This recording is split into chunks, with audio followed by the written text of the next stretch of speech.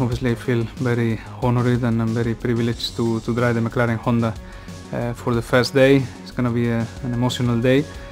Uh, a lot of expectations as well because it's the comeback of McLaren Honda partnership but uh, I think everyone will understand that this is going to be a, a tough uh, first day uh, because we will discover many many things in the car. It's a learning uh, process what uh, we are in at the moment. I think uh, it's, it's going to be a learning uh, year and a learning process uh, for all of us. Obviously, we are here to win, so the, the goal is to win. It's, it's nothing more than that.